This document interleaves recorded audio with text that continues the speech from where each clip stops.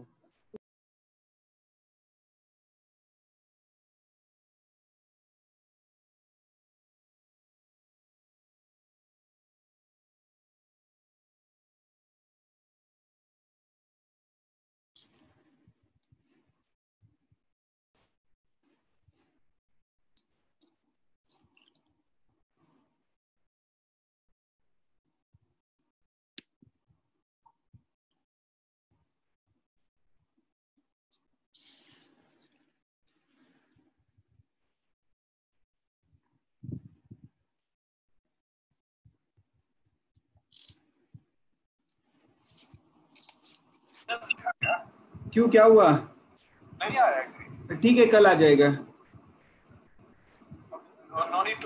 No no no need no need no need हाँ हाँ don't worry okay yeah चलो thanks bye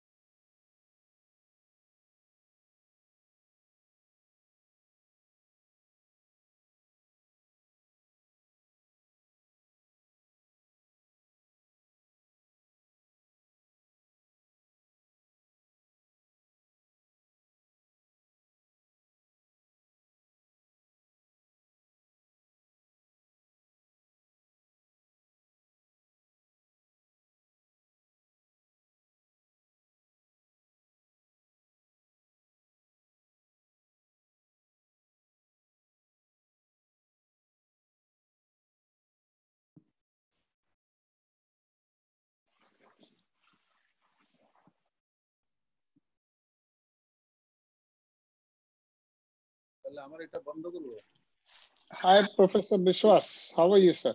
Hi, good evening. How are you? I'm fine, sir. Good evening. Hey, good to see you. Uh, So, start sharing your screen, sir. ah, yeah, Still yeah. got five minutes to go. Uh. So, share screen is there at the bottom, a Yes, green yes, button. Yeah, good, good, good, good, good. Yeah. Yeah, that's it. We're winning. Right. Very good, sir.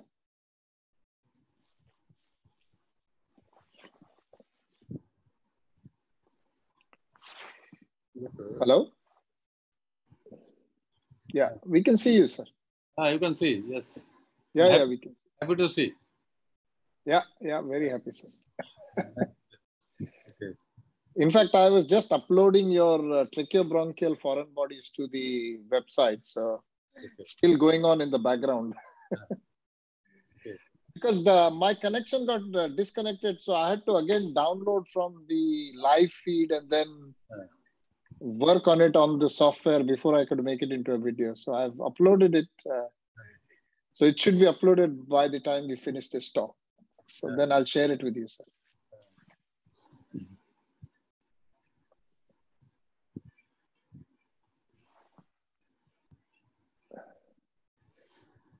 How are things in uh, Calcutta, sir?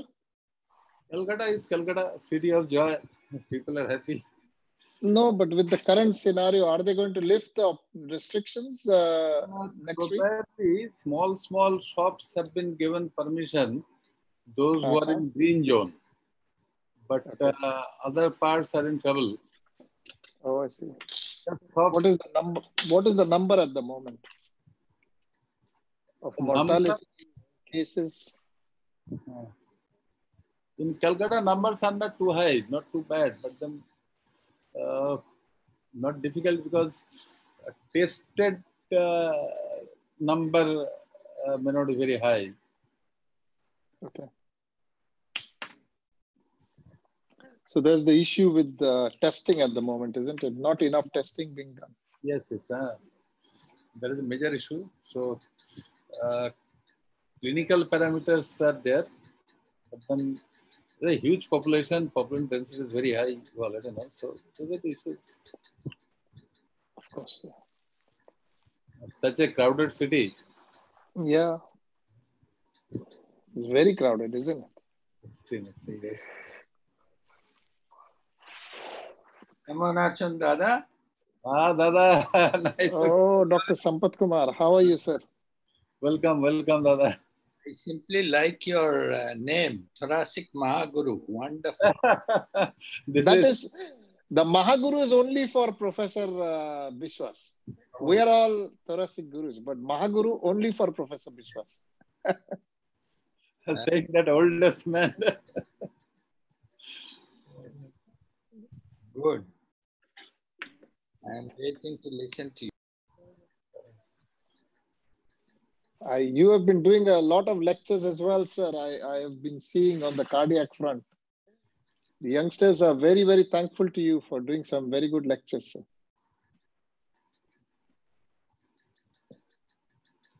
I'm speaking to Dr. Sampath Kumar, actually.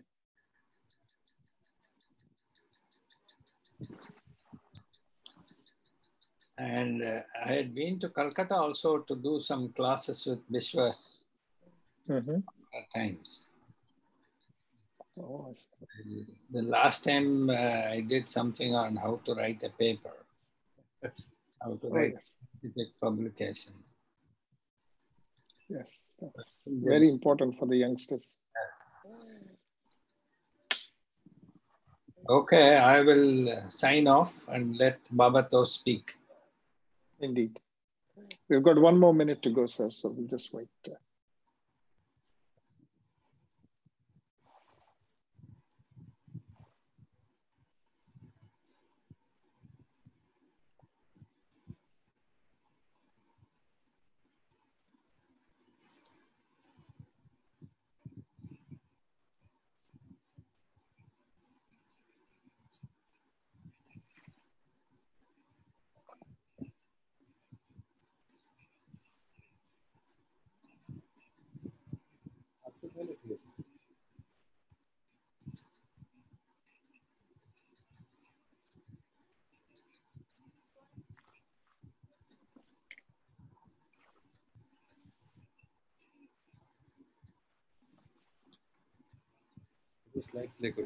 Okay, good evening, ladies and gentlemen. Uh, welcome to another session of Thoracic Gurus. Uh, today, uh, again, we are fortunate to have uh, our super guru, Thoracic Mahaguru, Professor Babatosh Biswas, who has been kind enough to give us a uh, another day uh, and another lecture on this series.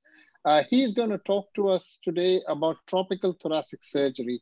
So he's going to take us through all the infections and in, uh, all the inflammatory things that we see uh, across the tropics. Uh, Professor Biswas, thank you very much for agreeing to talk on this uh, platform once again. The floor is all yours. Uh, thank you. Delighted to meet again and again. And this is a nice platform that uh, uh, it is an issue to uh, learn and discuss, but more so we are meeting very frequently. So uh, very, very enjoyable evening we're having. So uh, today, uh, the subject is uh, very simple or very complicated, whatever you put. This is everyday what we face, but uh, the problems what we face in this part of the country, rather in this part of the world, we have got some common problem in these tropical areas.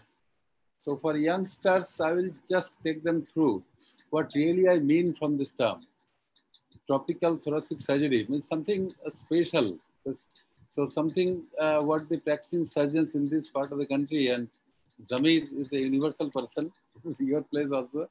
So, you know, so let us uh, look at this special area.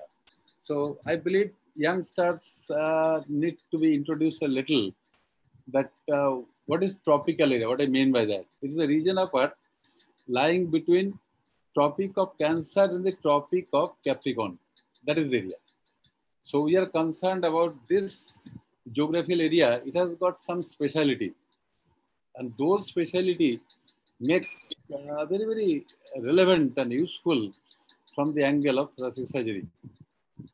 You are all uh, aware and you will agree with me that this area has got warm climate, a lot of poverty, lack of education, sanitation is relatively poor.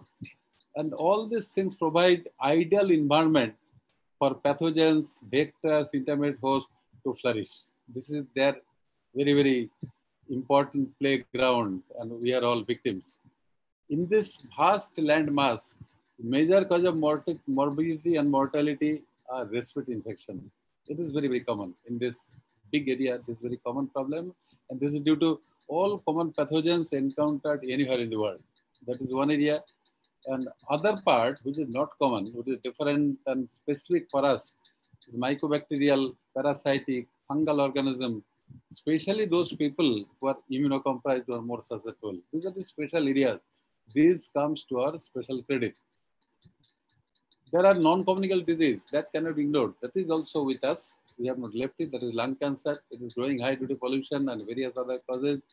Occupational lung disease, COPD is ever growing, and chronic respiratory disease. So we have got burden of specialty of tropical area as well as non-communicable disorders. So we have got a huge burden.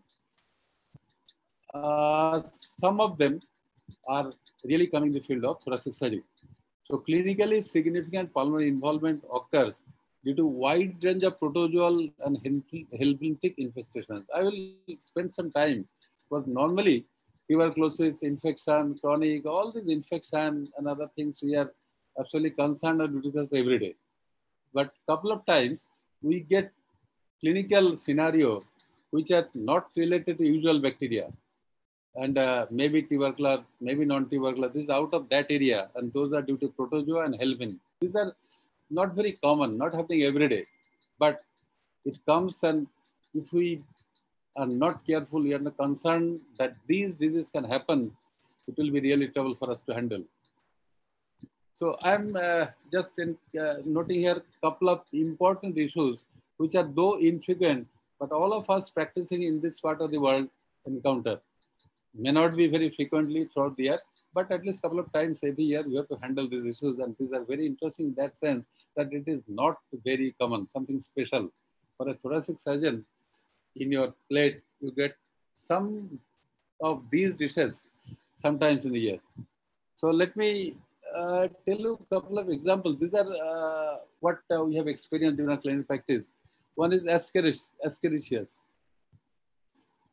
This, uh, this is uh, well known for everybody. Everybody doing clinical practice, they know about this. And they produce solitary pulmonary nodules. Many times, we do all exercise to identify what is the cause and unable to locate. And that is the problem. If it doesn't come in mind that this innocent worm, not innocent, but a worm which is not supposed to be of the interest of thoracic surgeon may put us to trouble by producing solitary pulmonary nodule and sometimes lobar collapse. Every sort of investigation done, but unable to understand.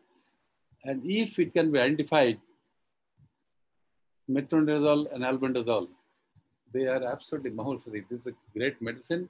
Simply suspicion, making sure, and treat with medicine. And there is no role of surgery in this sort of lung involvement. So solitary pulmonary nodule or lobar collapse due to ascariasis, it is treated by medicines only. Only thing you have to know that if you don't find any other cause, please don't forget it. This is the message for my young friends. Next come hookworm. That is very common for clinical practitioner, medicine, internal medicine, general practitioners, they come across every day. But this worm can produce patchy alveolar infiltrates. If a patient comes with patchy infiltrates, we can think of so many things, tuberculosis, uh, common infection, but we have to keep it in mind. If you fail to identify any other organ responsible for this, this is the cause and treatment is same. Mebendazole, albendazole, all this anti-helminthic, and there's no role of surgery in this group of disorders also. This is another area. This is not common, but we encounter at least one two cases per year we get. That is strongyloidiasis. Here, focal or bilateral interstitial infiltrates or sometimes pleural effusion, maybe up to 40% patients. Whenever, let me tell you otherwise, bilateral interstitial infiltration or pleural effusion, many times we are unable to identify cause. So this is the disease which may cause this and it may end in lung abscess also. At least 10 to 15% of lung abscess, this may be responsible. So it is though uncommon, but not very rare. In clinical practice, in busy centers, in tertiary care centers and medical colleges, particularly those centers who cater mass population, poor population, unhygienic population, who of nutrition, short of nutrition, in those category of people, this is fairly common. At least we encounter a couple of cases every year. And this is oral ivermectin is the drug. Here there is also no role of surgery. So let us see a couple of other things. Tropical pulmonary eosinophil. This is fairly common known. It is treated by physicians only, sometimes referred. It goes by tropical pulmonary eosinophilia.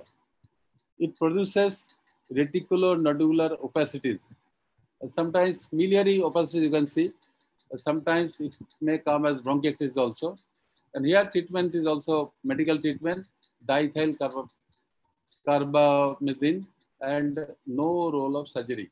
This is another area where you are just made full. We are searching for everything, all investigation, big investigation, modern investigation, scanning, all serology, but finally just strong suspicion, particularly when the patient is coming from that area, that is tropical, real tropical area. And uh, it has been observed that people traveling from tropical area to other parts of the world, they also present with this disease sometimes. Trichinella infection, they produce pulmonary infiltrates and mebendazole is therapy. And schistosomiasis, here chest radiograph and CT scan may show ground glass opacities. The praziquantel, the drug which is used in hydatid also, this is used here also. Paragonimiasis, this is the organism, protozoa, that causes patchy infiltration, nodal opacities, pleural effusion, and opacity abutting visceral pleura. It is very, very, you know, very, very pinpointing radiological sign. Only radiologists can identify. And those thoracic surgeons who are exposed to this population, they get sometimes. And praziquantel is a drug. And uh, here also there is no role of surgery. And regarding another echinococcus, that we have discussed in great details. Definitely we'll touch a little bit of echinococcus special areas today also. And so I am not discussing here. It has been discussed in details and again we'll touch it.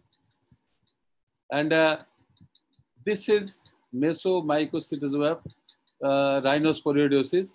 They cause endobronchial lesions, undiagnosed endobronchial lesion, all measure failed. So CT image may show endobronchial lesion. So when everything fails, you may think of as a uh, cause for this. And what I mean to say that all these sort of disorders caused by protozoa and parasite, they should be kept in mind. They come, they come as a last option in the list of differential diagnosis, but they cannot be forgotten. If we forget it, those persons who are practicing, those young friends who are practicing in tropical areas, particularly people with poverty, malnutrition, infectious environment, they will be missing in making a diagnosis and treating a group of disorders belonging to category every year. So within the big list, I will be discussing a couple of cases uh, who are not uh, very common, but uh, in day-to-day practice, at least a couple of cases will get every year. Those young friends who are practicing in tropical areas, literally, uh, not uh, say, I should say, these are the cases coming to medical colleges, coming to crowded areas, coming to public hospitals, coming to municipal hospitals. Uh, so these cases reach there. So this should be kept in mind. So pulmonary strongyloid disease, it causes lung invasion. But because the larva carried by bloodstream to the right heart and then to the lung. And what they cause? Bronchopneumonia, alveolar hemorrhage, lung abscess, and even hemoptysis. I remember at least couple of experience of mine encountered with lung abscess and hemoptysis, but nothing could be identified. Finally needed surgery and putting everything together, I was uh, final diagnosis made that is due to this uh, parasite. Treatment is simple. Ordinarily, if it is not surgically very advanced, the lung damage is not of very high degree. It is treated thiabendazole, antihelminthic, and sometimes albendazole. These are the two common medicine. Thiabendazole at the dose of 25 mg per kg twice a day. Only two days therapy is enough. And albendazole 400 twice daily, means 10 to 15 milligram per kg of body weight, is of five days. If it is identified in the beginning, without much lung parenchymal damage has happened, up to that time treatment is simple. Uh, beyond that, it needs lung resection, and after that you can make a diagnosis. Tropical pulmonary eosinophilia. This, this, this is I should discuss. I have a couple of experience of this. This is by filaria. This is very rare now. It is not encountered frequently in our country now, but it comes. The microfilaria in lymphatics invade pulmonary circulation and lung parenchyma and produces further granulomatous and fibrosing pattern. Chest X-ray give you picture like miliary nodules mimicking miliary tuberculosis. Sometimes we confuse with miliary tuberculosis. Multiple miliary nodules you get in chest X-ray and CT that may be due to this TPE, tropical pulmonary eosinophilia. That must be kept in mind. And finally, it is confirmed by histopathology. If lung resection is finally done, the histopathology shows microfilaria. If it is identified early, before a lot of damage has been done, then treatment of filaria, diethyl carbamazine, 6 mg per kg day for three weeks. It comes in the name of Hetrazan. It is simple therapy. Uh, sometimes back, it was used empirically when nothing uh, evidence could be evidence. It is not fair to give empirically, but there are clinical evidences where you can sustain, particularly in endemic areas, particularly in tropical areas. Uh, this is, you know, in India, in tropical country, it is not uncommon. Malaria is still a problem, though it is largely under control. But quite some time we get patients with complication of malaria. All varieties of complication of malaria are, uh, you know, every year uh, comes in clinical practice.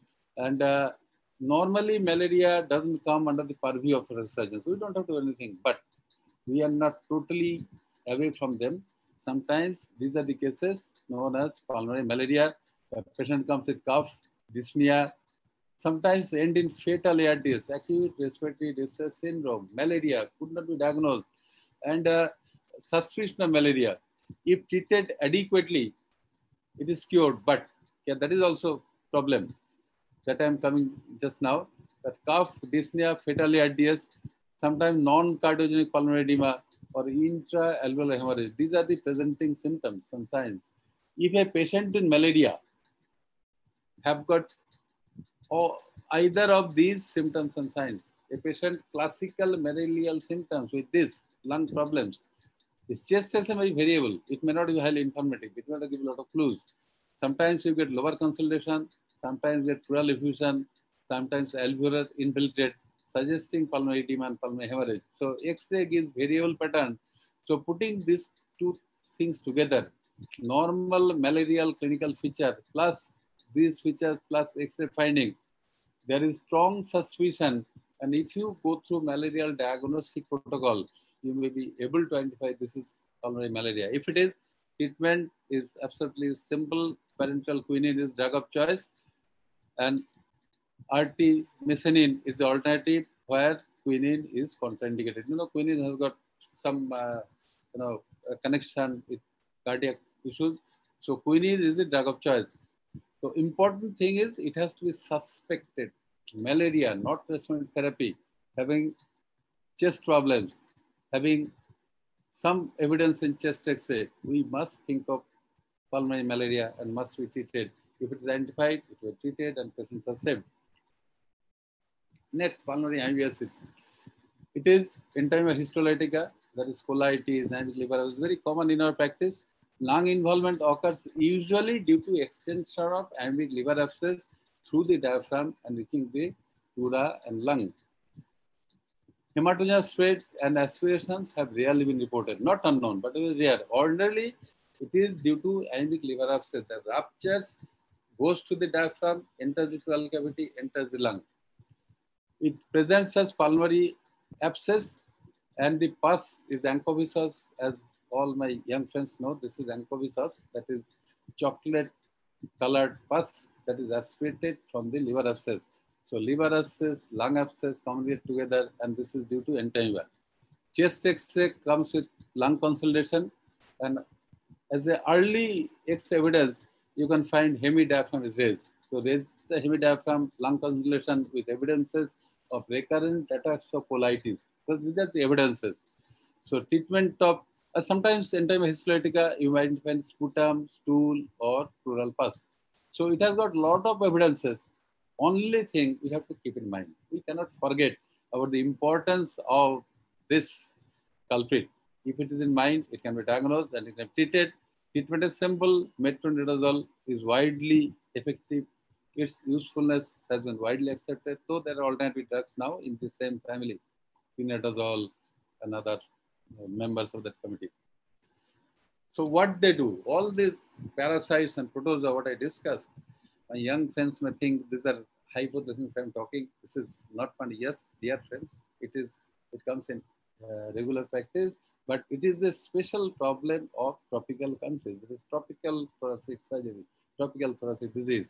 They may have range of uh, infestation at different sites, like this tracheobronchial problem, because pulmonary parenchyma, pleural space, chest wall, about that I have already discussed. But sometimes lung consolidation, sometimes infiltration, solitary pulmonary nodule, endobronchial tubercular, tubercles, then pleural space collection, then sometimes that may invade the chest wall also. So all the components starting from chest wall up to the tracheobronchial, everything can be involved by these parasites which are normally not expected to come in contact with uh, thoracic uh, organs. So clinical manifestations are very wide range, maybe non-specific, leading to diagnostic and therapeutic dilemmas.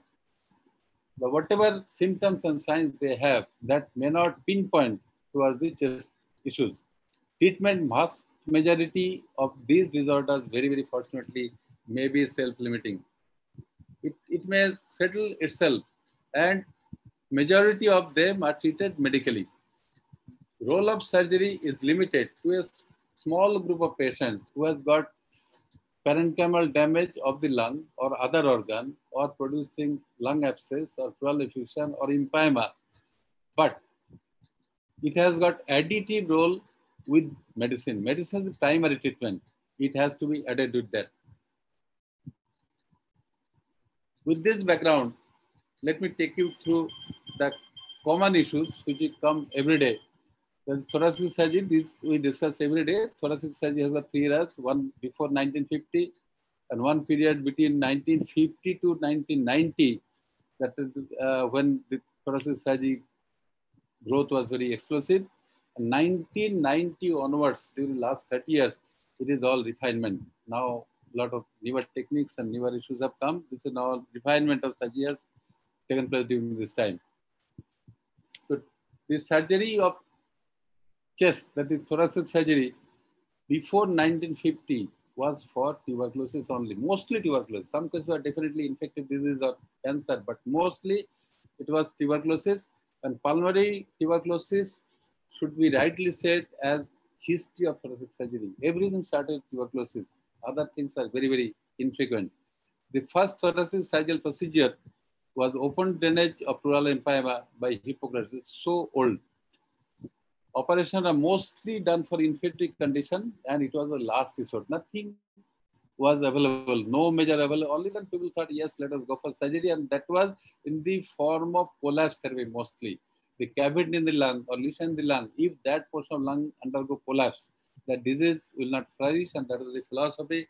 And that plombage, pneumothorax, then phrenic nerve uh, crushing, then thoracoplasty, all this modality of therapy finally aimed at collapsing lung. So collapse therapy was the fundamental therapy and this was meant to address tubercular lung disease, mostly cavity and other lesions related to tuberculosis. So prerequisite for development of thoracic surgery, as the surgery started advancing, these things are required. It was done.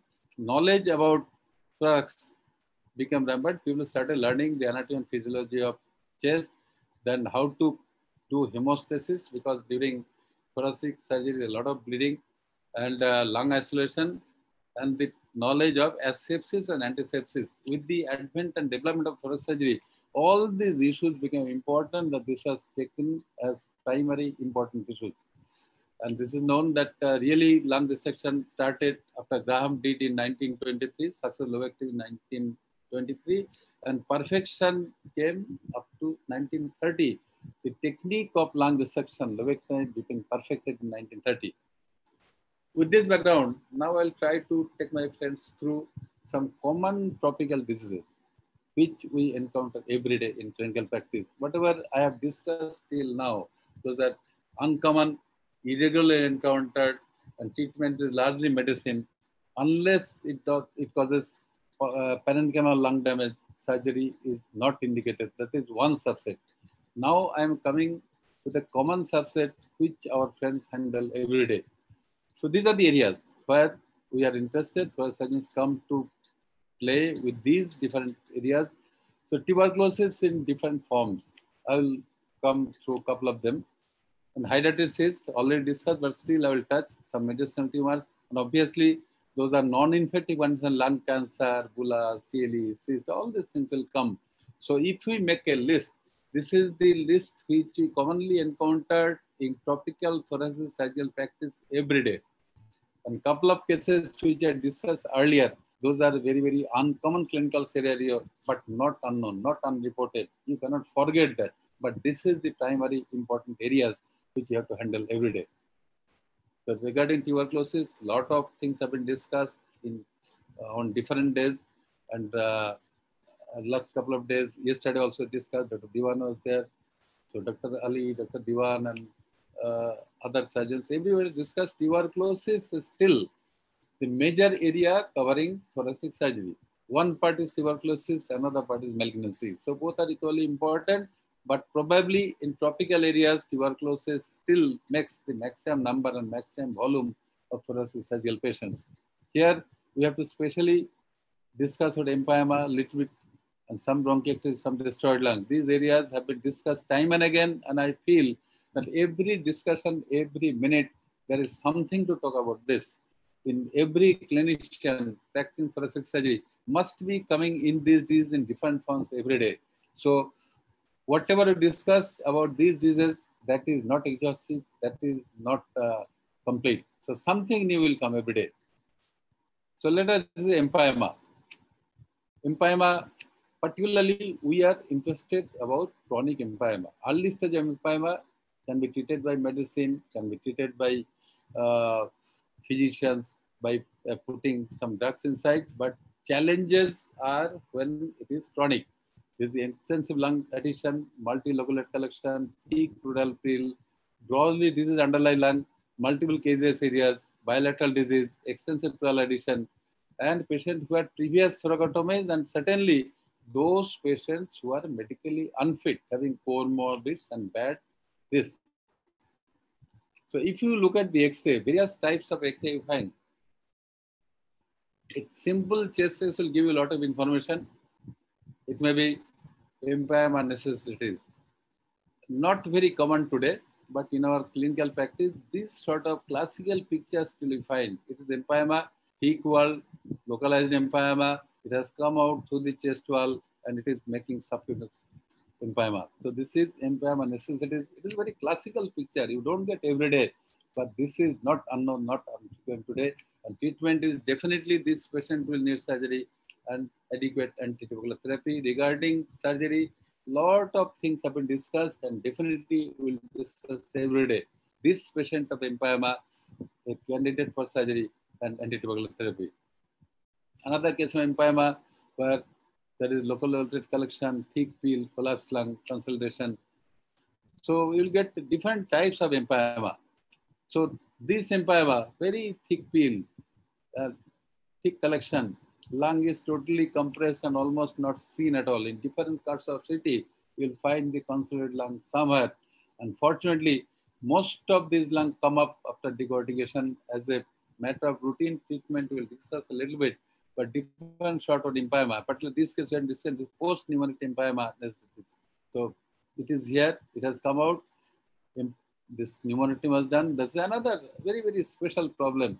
We have done pneumonectomy, but the right side pneumonectomy and space collection, space empyema is not infrequent. Sometimes it becomes like this, communicating with abscess outside, and sometimes we get patients who develop this, these abscess ruptures, the discharging sinus. A patient coming with discharging sinus with abscess in subcutaneous plane and collection in pleural cavity, and the patient had history of pneumonectomy. So this is a very, very difficult clinical situation, but a lot of ways to handle this patient. And these are not uncommon, not unknown. Still, we live with this patient in this part of the world.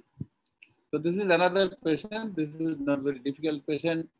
And uh, in earlier discussion, we discussed in extensively on bilateral empyema, there is also uncommon clinical identity, but not unknown.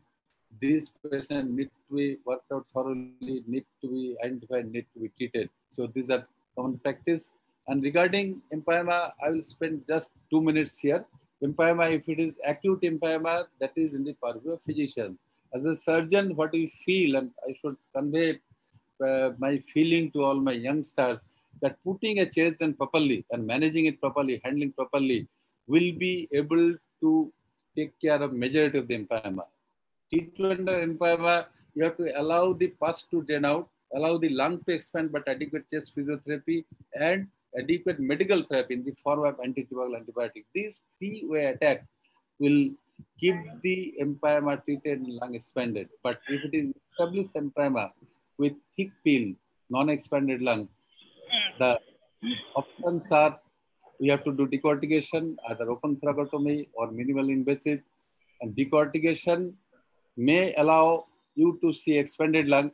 If after decortication you find that some area lung is damaged, don't keep that lung. So decortication with lung resection of minimal resection, maybe wedge, maybe lobe, and sometimes segment.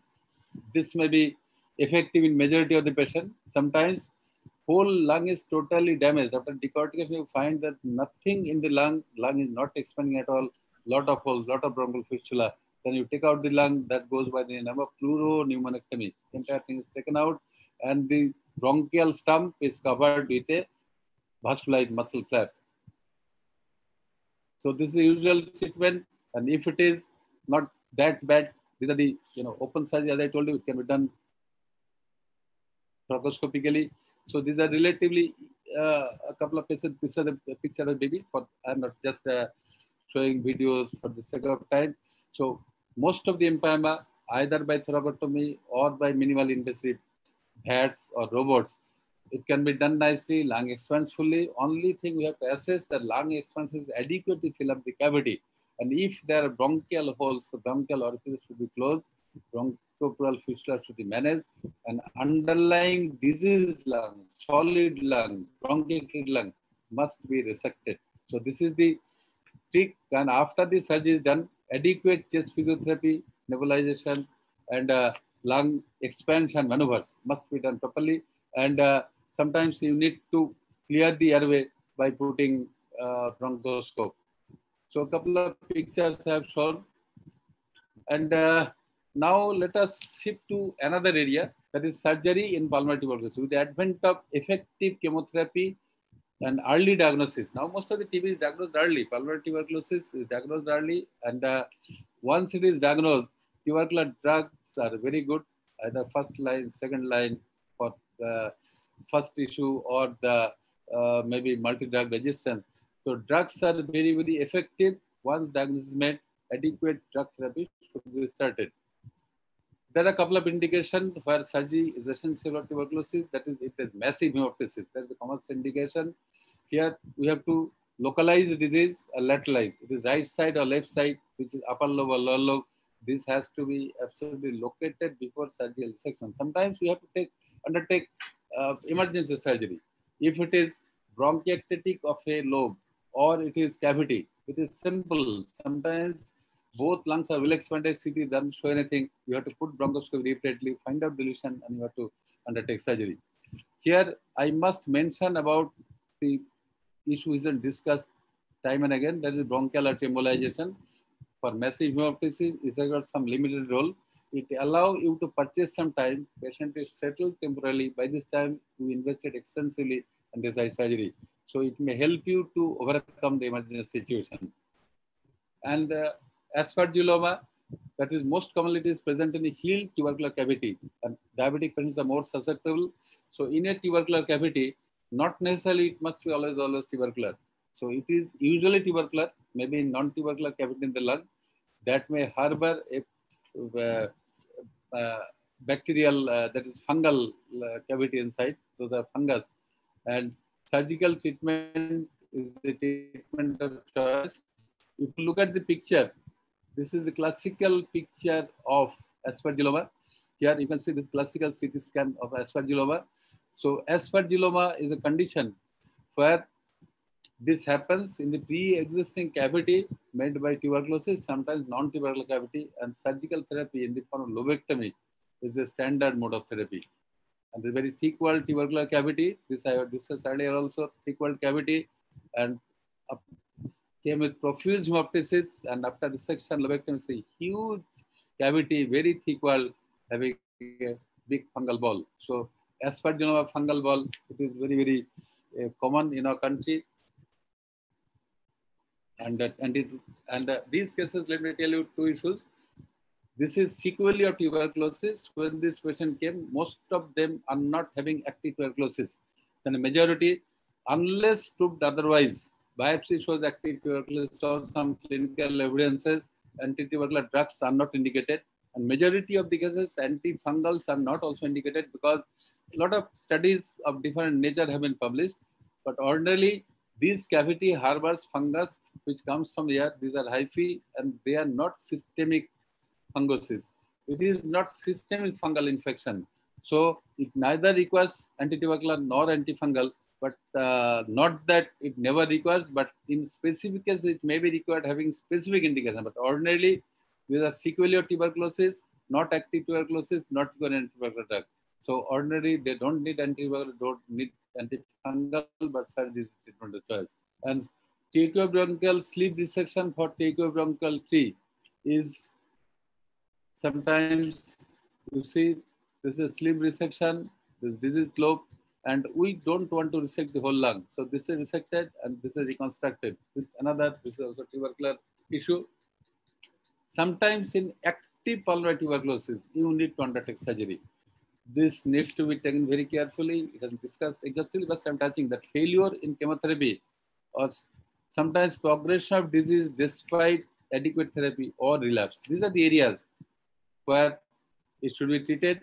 And curative surgical resection is indicated where localized resectable disease with sputum positive despite at least four months supervised chemotherapy. Two or more relapses following chemotherapy. One more relapse while being on chemotherapy. These are absolutely classical points you have to remember before undertaking surgery during active tuberculosis. Repeated defaults or non-compliance likely relapse in the judgment in treating physicians and many patients operated upon for sequel or complication turn out to be harboring active disease. So these are the areas where surgery is indicated in tuberculosis.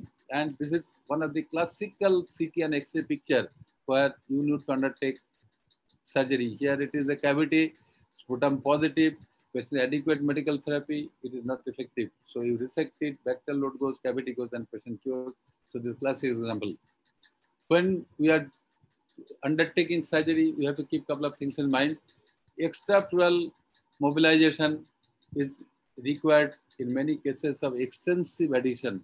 This is not routine, but particularly peripheral areas, parietal areas, extrapleural mobilization becomes mandatory to start with the procedure, especially in upper. A bronchial stump closure, both are equally effective. If you are comfortable with mechanical stapling or hand sewing, both are equally effective, both are equally safe. But after closing bronchus, we must make sure that bronchus is not made avascular by multiple sutures or uh, by using cautery or it is keeping leak or the bronchial stump is still holding disease. The stumping or suturing should not be done through diseased area and it should not be avascular. These are the tricks we should remember to avoid bronchial fistula. And uh, VATS inexperienced hand definitely is inappropriate, but with inferior experience, VATS and robots are very excellent alternatives. But young friends with experience definitely take it slowly and become expert in this. So challenging in view of significant adhesion, distortion of anatomy, and what I started feeling after long experience in old age, that minimally invasive surgery probably better option in handling this extensive adhesion, extensive distortion, but that must be built up with expensive experience of handling. So somebody with experience may be more comfortable with VATS and robots. There are a couple of issues which are not contraindication, but relatively should be taken with uh, a pinch of salt. It should be taken very seriously. If it is bilateral extensive disease, active disease at the proposed bronchial stump site, you cannot afford to switch at this place, so you have to modify it, innovate. Very poor general condition, unfit for general anesthesia, poor nutrition. These are the areas where you must be careful. And today, we can very safely say all the diseases are amenable for surgery. Whatever area where surgery is useful can be done. We have to take measures, we have to take precautions, we have to be equipped with techniques and measures and gadgets, medicines, but we should be able to handle all sorts of disease which require surgery. There's no need to be afraid that no, no, no, it cannot be operated. Those days gone. You can operate all the operative lesions, but you have to be equipped. You have to be equipped with medicines and technology. So post-op complications, sometimes after lung resection, you develop space empyema or uh, empyema in the remaining cavity. A fluorescence problem, it is definitely uh, associated. The problems are different in benign and malignant disease. After that, let me touch a little bit of bronchiectasis. This is well discussed picture. Many times with bilateral disease, this side and that side. Side which is more involved and CT wise and investigation wise, so to be active disease a lot of infection, that side needs to be operated. But all the patients must be prepared properly. These wet lung patients must be prepared properly with steam inhalation, with nebulization, with postural drainage, with chest physiotherapy. Before the patient taken on table, chest preparation must be adequate. Otherwise, as soon as patient is turned on one side, all the stuff goes into the other lung, there is chance, in spite of double lumen endotracheal tube, there is some chance of getting the material in the other side and then flood the lung. So patients must be prepared very adequately. Lung abscess is not a routine case for surgery, but sometimes very aggressive clinical lung abscess, whole lung, a lobe or a portion of lung may be absolutely rotten. They need emergency surgery, but that is very infrequent and not required. Hydatid is a common tropical disease. I will touch a couple of points here. The cystic specialization, lung, lung, liver, and other organs, every uh, organ can be involved. And uh, tropical area, tropical countries are very prone to have disease. And uh, our interest is mostly Echinococcus granulosus. That is the common uh, Echinococcus we are in fact infested with.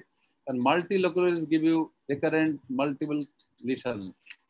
So couple of points, you know, human being uh, is the, uh, you know, accidental host.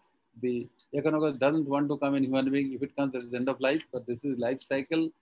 This I discussed earlier. And what I want to say, you will get varieties. This is what sign. That is not common, but sometimes you get. And uh, you get in varieties of shock. These lesions should be identified. It is space over lesion, the clean margin. It might be anything, any space over lesion. It should be identified clearly. X-ray gives you very good information, overlapping shadows. Sometimes it is ruptured and effusion. And CT scan give you very good information. This is a very clear-cut picture. Mediastinal hydatitis rupturing into the airway and the material gets coughed out and I will touching that uh, in a couple of minutes. Another hydatitis causing damage of the lung. So lung and liver, bilateral lung with liver is also very common. So hydatitis may come in different forms. And as I discussed today also, ultrasonography gives a fair idea about the classification that helps to plan therapy. When the cyst is inactive or cyst is non-homogeneous, these stages of cyst, the inactive, little chance of spreading or producing daughter. In earlier stage, there is treating with medicine. Albendazole is very good therapy. In early cyst, non-infectious, non-complex cyst, single cyst, small cyst, medical therapy may be curative in some cases, not all, but once it is multiple cysts, recurrent cyst, infective cyst, complicated cyst, surgery become mandatory. And treatment, I'm telling one again and again that albendazole is treatment of choice, 15 mg per kg of body weight in two divided doses. It should be started a couple of weeks before surgery and continue for several months depending on type of hydatitis. If it is multiple hydatitis, multi-organ hydatitis, recurrent hydatitis, complete hydatitis, it needs to be continued for longer time. And we must remember, if we continue albendazole, we must keep a very, very close eye on liver function. The liver enzyme must be noted very carefully. And uh, for surgery, it has to be started a couple of weeks before and continued for a couple of uh, months after that. And PAIR therapy, all you know, percutaneous aspiration, infusion of scolicidal agent, and reaspiration. It is indicated in uncomplicated cysts, the C1, C2, and sometimes C3. So early cases, either only medical therapy or medical therapy with PAIR. And late cases, complicated cases, delayed cases, multiple cases, recurrent cases, multi-organ cases, surgery therapy, but definitely under cover of albendazole. So this is about uh, hydatitis, praziquantel indicated sometimes, and uh, removal of hydatitis under albendazole is it treatment standard mode of therapy? Lung resection is required. Any very, very selected cases. Lung is conservated, lung is uh, protected. In even major cyst, once the cyst is removed and bronchial orifices are closed, lung expands. So lung resection must be reserved for very selected cases. And this is standard Barrett technique of taking out. And this is the lung and liver cyst. This is liver. After removing lung cyst, the diaphragm is cut, cyst is removed, the cavity is cleaned and then both above and below. So I am not going to discuss, but I have a couple of issues to discuss here about hydatitis. Hydatitis is complicated by rupture. It ruptures either in the bronchial tree or in the pleural space. These are very, very specific areas. And in clinical practice, our 10 thoracic surgeons, young surgeons, they will definitely come across in their lifetime in their practice. So it may rupture in the bronchus and the content of cyst may be coughed out. And that may be diagnostic point also.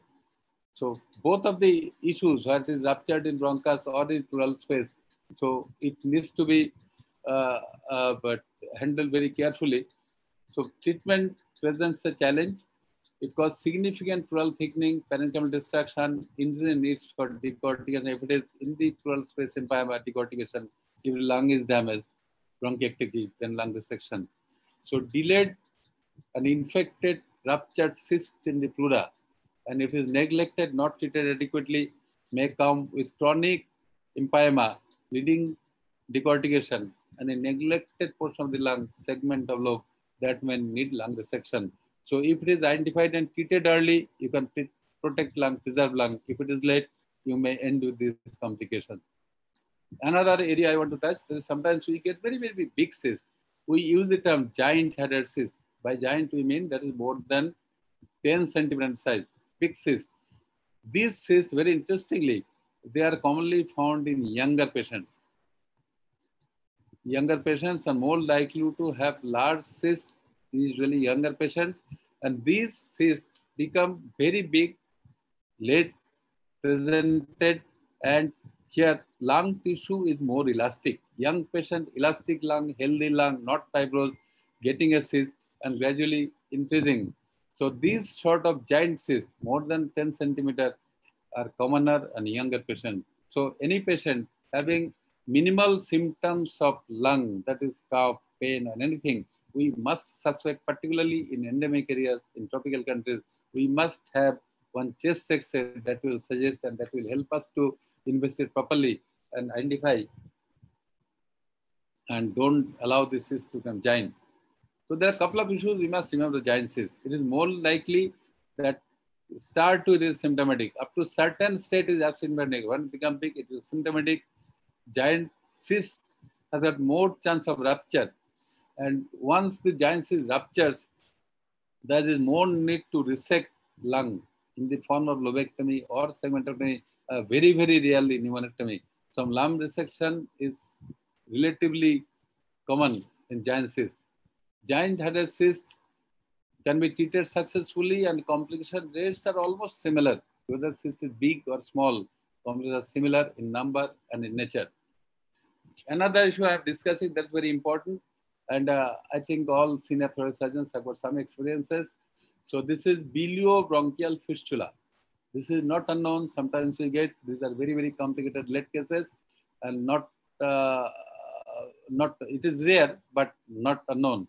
This is the result of intrathoracic rupture of liver abscess. A big liver abscess, more so in the right lobe of liver, ruptures, passes through the dome of diaphragm, reaches the pleural cavity, and the lower lobe of lung get involved. So there is abscess in the lower lobe of lung and the liver, and both are communicated. Bile comes to the lung, and finally, after aspiration of pus, you get bile into this. So liver abscess, lung abscess, and communicate together this is biliobronchial fistula, very difficult condition to it. It ends in uh, treating it in a very, very methodical manner. Patient present with repeated pneumonitis, biliptysis means vomiting out bile. That may be presenting sometimes. So it may be presenting in this phase only. The dyspnea, biliptysis, repeated pneumonitis, this may presenting feature of biliobronchial fistula. The surgically, surgical removal is the treatment usually done by thoracotomy, but many of the invasive options are also very good. So thoracotomy, sometimes thoracoabdominal incision may provide better access, but I don't like this and I don't feel it necessary. Of, of course, in earlier life, I have taken this incision, but now thoracotomy or thoracoscopy is useful in most of the cases. We have to, the principle of surgery need to follow very carefully. We have to evacuate the intrahepatic cyst the, the whole thing has to be drained, cyst has to be obliterated, the lung has to be dissected very carefully and thoroughly, and resection and closure of the fistula and pulmonary parenchymal discussion may necessitate lung resection. Ordinarily, whatever I have experienced in this disease, I had to resect the lobe, dual lobectomy with resection of the fistula sac and resection of the aspirin cavity. It was started with thoracotomy, then dissection of the lobe, then passing through the phrenotomy, entered liver abscess, liver abscess was drained, cleaned. One drain was put in the subdiaphragmatic in the lobe. Then lobectomy was done, that was damaged lobe, and then a drain was put in the chest. And these cases are notorious for recurrence. I had experience of getting recurrent patient, and that was also dissected and managed. So biliobronchial fistula is a common problem.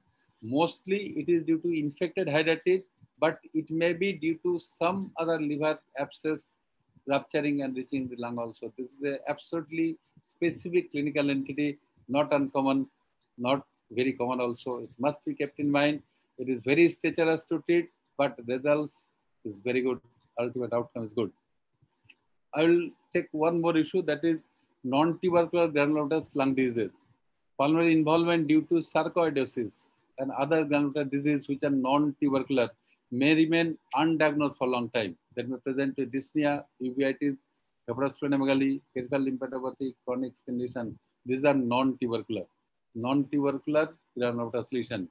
Chest X-ray may give you bilateral lymphadenopathy, be confirmative. So you will get a group of disorder which fits in this category. It is non-tubercular, granulomatous, and biopsy confirmed. Before that, all investigations are useless and does not give you any idea.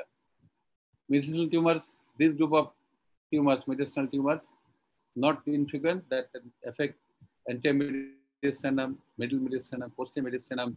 The majority of the cases, diagnosis and therapy is absolutely straight and simple. and uh, these are the very, very, very simple anterior mediastinum, the posterior mediastinum, middle mediastinum, and uh, uh, the tumors or lesion in all medicinal is fixed. Some may be malignant, some may be uh, benign. So anti-medicinal tumors are thymoma, thyroid, teratoma, testicular tumors. Regarding thymoma, we will not discuss. That are discussed in length and breadth earlier. Posterior mediastinum tumor is usually lymphoma, teratoma, neurogenic tumor, or testicular tumors. So specific tumors are seen in different areas for long period they be asymptomatic. Sometimes they're symptomatic with chest pain, hemoptysis, dyspnea, all are non-specific symptoms. Diagnostic model is the same, chest X-ray, CT, FNAC, medicinal, sometimes VAR, sometimes thoracotomy, sometimes sternotomy, all modes of uh, models are required, sometimes EBUS, sometimes bronchoscopy. So all models available, we have to use judicially, but chest X-ray give you primary information and CT is informed in most of the cases. It may take this step and maybe confuse aneurysm. May like this, looks like mediastinal widening. May like this. So a couple of these tumors may be confused with aneurysmal structures. And uh, this is a nodular tumor. This one, and these are different forms of X-ray and different forms of X-ray CT. This is CT cut. So you see, this is very, very solid tumor. And another, sorry, this is just, uh, so these are the different varieties of mediastinal tumor, different size, different shape, and different weight. This is a very clean mediastinal tumor. This can be shelled out very nicely. And treatment modality, in surgery in most of the mediastinal tumors is a necessity, and surgery can be done open and or by minimal invasive. But today's scenario, most of the mediastinal tumors can be taken out very nicely and very safely by keyhole method, either by VATS or robots. Both are equally effective, but some mediastinal germ cell tumor, they may be responding to chemotherapy or radiotherapy. So what I suggest, once you get uh, some information about mediastinal tumor on X-ray, it has to be worked out very thoroughly by CT scan, by bronchoscopy, and other modalities. And it must be uh, treatment plan, treatment should be planned adequately. Surgery as well as radiotherapy and chemotherapy, all modalities should be taken into account. Somebody lymphoma that responds very nicely with medicine chemotherapy. Neurogenic tumors are resectable, can be resected completely. And uh, these are all mediastinal tumors. There is simple group of tumors and uh, not most of the tumors are not very complicated, can manage nicely. And now I will touch a very, very important issue. And uh, this is universal problem across the world. And the tropical countries are not uh, beyond the reach of this lung cancer. So this is very, very unfortunately during this time, this corona reason, this pollution has gone because there's no cars uh, in the street. But this is pollution that causes this sort of problem. So cigarette smoking is the single most important cause of lung cancer. And if we just overview, we are not discussing cancer in details, but uh, if we overview, overall curative lung cancer is low because cases are presented late, they reach late. At the time of diagnosis of lung cancer, only 20% having local disease, the rest of the patients are delayed. More than 50% because of metastatic cancer, 25 are spread to regional lymph nodes, only 20% have a local disease only. Even in localized disease, overall five year survival is 30 to 50%. And these statistics has definitely improved, but not very much. We must be careful and we must be careful about prevent pollution, stop smoking, and we must avoid lung cancer. Survival without term treatment is rarely possible, and most untreated patients uh, usually die within one year. Median survival on untreatment less than six months. Diagnostic model of lung cancer is all absolutely standardized now. X-ray, CT scan, bronchoscopy, virtual bronchoscopy, mediastinoscopy, PET scan, and EBUS. VATS, everything has got role, and depending on need, we use this. So principle of lung cancer surgery, definitely non-small cell lung cancer, resection is the treatment, and usually lobectomy. So in some very, very advanced cases, we need to go for pneumonectomy or extended section. In some special cases, we get segmentectomy, but most of the cases are treated by lobectomy. And this is the policy I'm discussing about non-small cell lung cancer. But dear friends, let me remind you here, there's a group of patients of small cell lung cancer who are also subject of surgery. We are not discussing in details about lung cancer today, but for just brief information, non-small cell lung cancer is a disease amenable to surgery. Small cell lung cancer is largely treated by chemotherapy, but there is a small subset of patients of small cell lung cancer who are subject for surgery. And uh, a different sort of X-ray and uh, CT picture will get. A bronchoscopy may give you very good information, but these sort of tumor are very advanced stage. An opening either by thoracotomy or where you will get this sort of lesion on the surface. And after resection, this is the picture of the tumor. And uh, details or further therapy will depend on the type of tumor. Bulla, we had enough discussion earlier. It should not be confused with the pneumothorax and should not be drained, and that may lead to further problems of bronchial fistula. And once bulla is diagnosed, treatment is very simple. Today, most of the cases are treated by VATS or by robots. And congenital lobar inflammation baby, that is very important. This is also where hyperinflation of a lobe of lung causes mediastinal shift. But once this baby is having thoracotomy, lung, the uh, lobe comes out and baby settles more dynamically. After treatment, babies are absolutely fine. So mediastinal cyst with tumor as discussed early. So with this background, I will take another maybe couple of minutes to express a couple of issues, which I think for my youngsters, for the young surgeons, those my tips to travel across thoracic surgery horizon. Couple of tips I feel it is important. The association of lung cancer with pulmonary tuberculosis is very high. There's one subset where tuberculosis turned into cancer, TB cancer. That is very small number, but associated lung cancer with pulmonary tuberculosis is very high. Mediastinal cold abscess, it is not uncommon and it needs to be worked up. Many a times we get cold abscess in the mediastinum and we must take it carefully. And cold abscess uh, requires dependent drainage. It must be remembered, but cold abscess, tubercular abscess, if not drained properly, it may be residual abscess might lead to problems. So whether it is cold or hot, abscess must be done in a dependent way association of varieties of congenital anomalies with pulmonary. This is a common finding in our country. We may open a lung or we may work out for a cavity of tuberculosis, but that patient might have a bulla In many cases, while inside chest with a lung cancer or some hydatitis something, we may find multiple bulla inside the lung. So for all practical purposes, we must be ready in this part of the world that all lung will have multiple lesions, may have multiple lesions. We to be ready for that. Don't think that all will virgin without adhesion. In this part of the world, in our country, especially India and surrounding countries, it is very difficult to get a virgin chest. Initially, uh, was thought that VATS is cannot be practiced here because most of the chest have a adhesion. Yes, most of the chest will get adhesion. There may not be history of TB, there may not be history of pneumonia, but we expect either extensive adhesion or some sort of adhesion in major chest. But that should not come in the way of VATS or robots or thoracotomy. We must be careful with a mental makeup that you are going to get some adhesion in chest due to whatever reason open. Another issue I want to point out, the role of PET needs to be assessed very, very carefully. PET is not the last answer. In many of the cases, it is confusing, particularly where there is large burden of tuberculosis. So tubercular nodes, tubercular disease, sequelae, they may confuse. So in this part of the world, PET has got definite role, but there are a lot of negative PETs and we must be careful. Drug resistance, either antibiotic resistance or tubercular drug resistance. This is very, very important issue. And I must raise the issue of empirical ATD.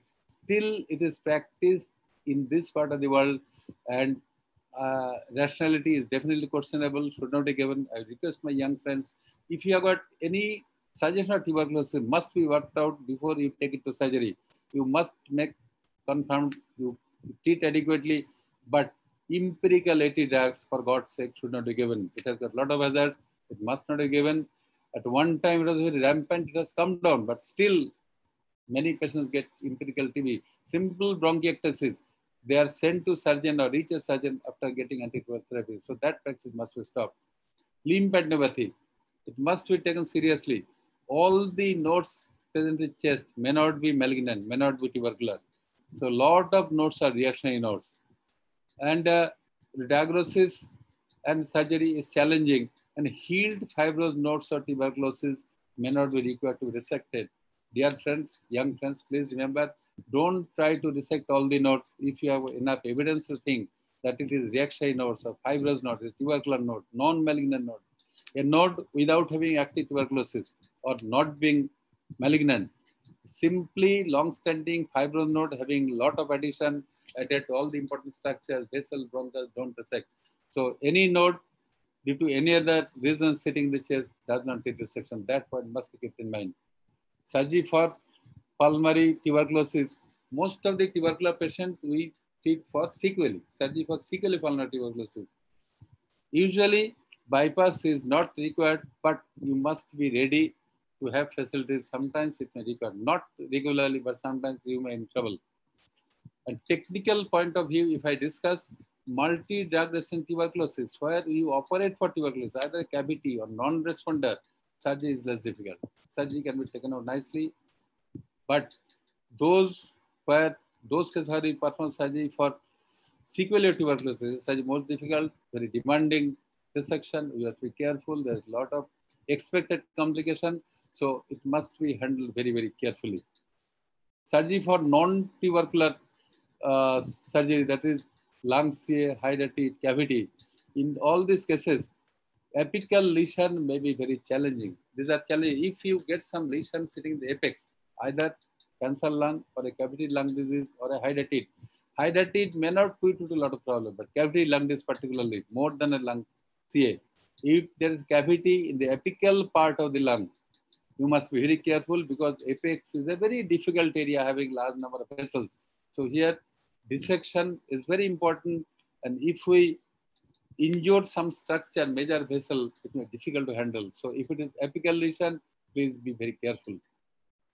And intrapericardial approach sometimes is essential component of handling major vessels for lung resection. But many times in our country, we get unrecognized chronic constrict pericarditis because we have got large number of tuberculosis in our country.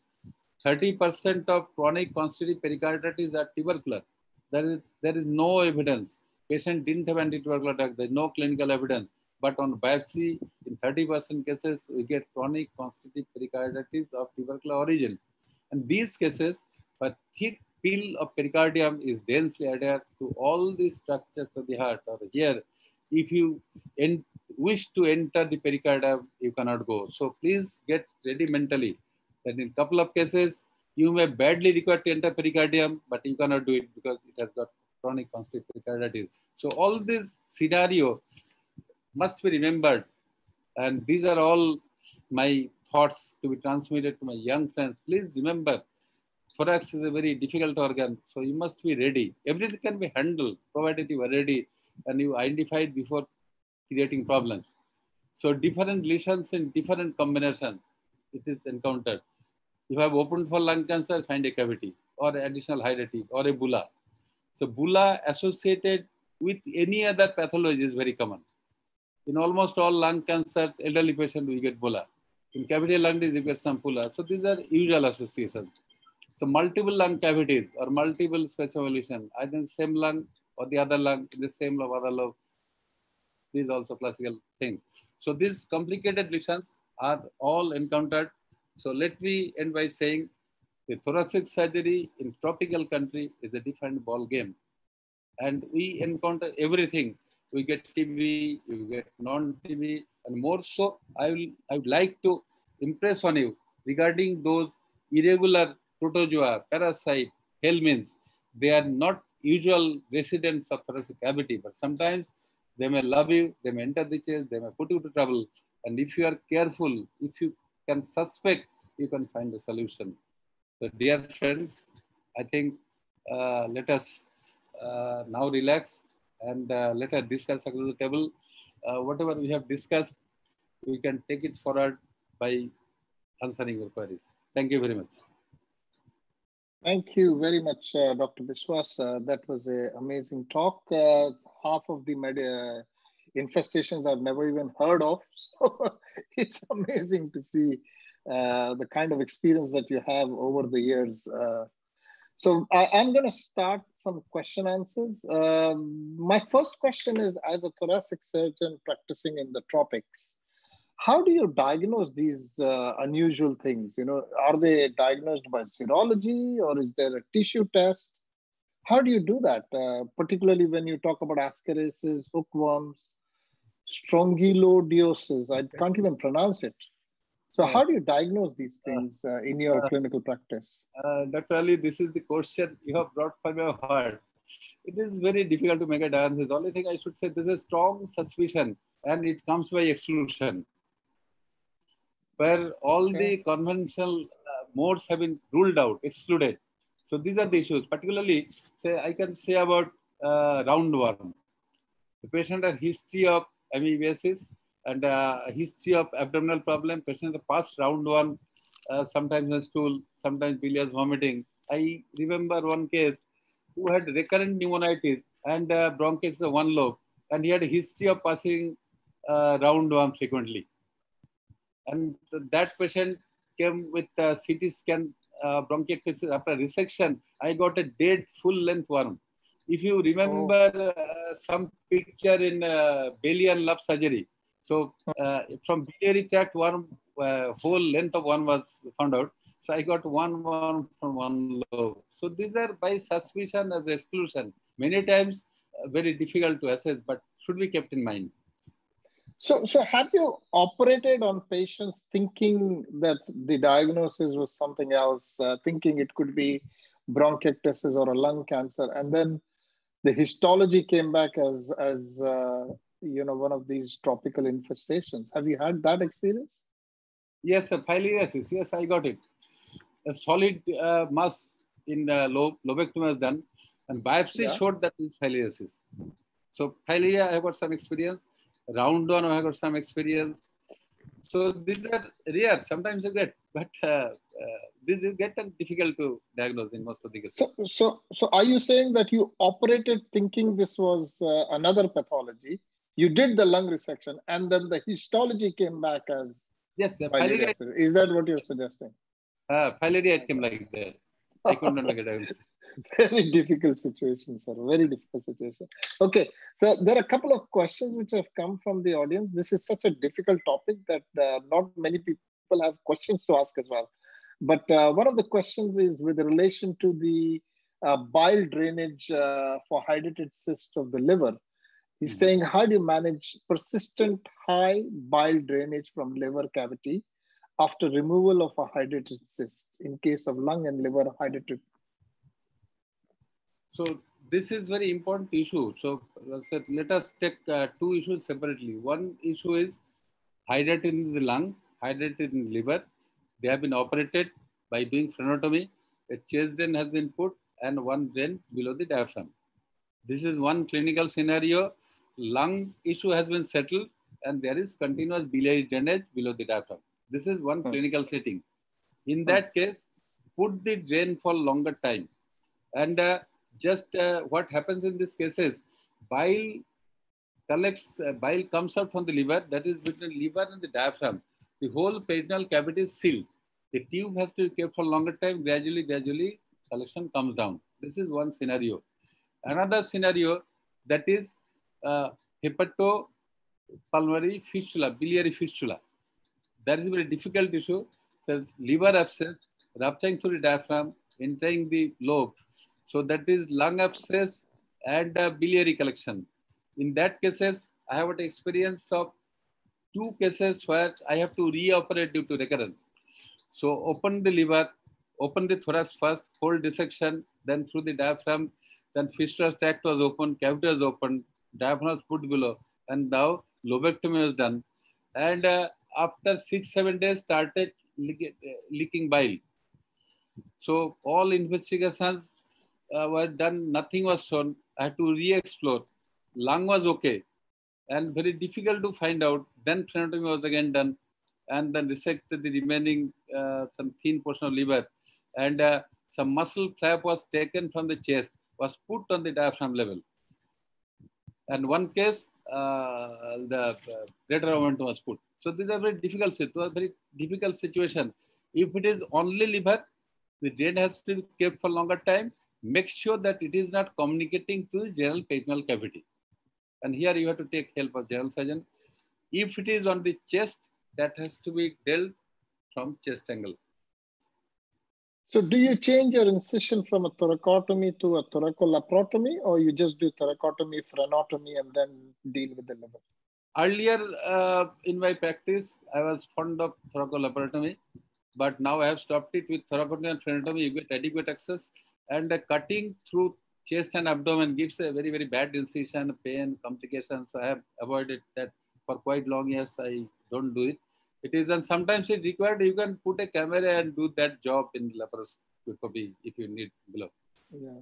Uh, one of the things, as I, as I said in your last lecture as well, is uh, if you're dealing with liver and you've got a wide surface where you're worried that you will leak bile, then use of argon plasma coagulation is actually recommended. The liver surgeons do a lot of, uh, uh, when they do a segmentectomy of the liver, they use argon plasma coagulation to cut through the liver.